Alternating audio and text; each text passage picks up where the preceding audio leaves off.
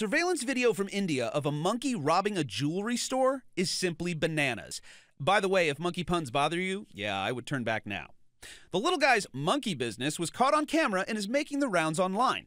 The monkey starts by throwing a piece of fruit into the shop, possibly to create a diversion, but then he opens the cash drawer and makes off with about $150 worth of rupees. Store employees didn't go ape, instead used a banana trying to appeal to the furry thief.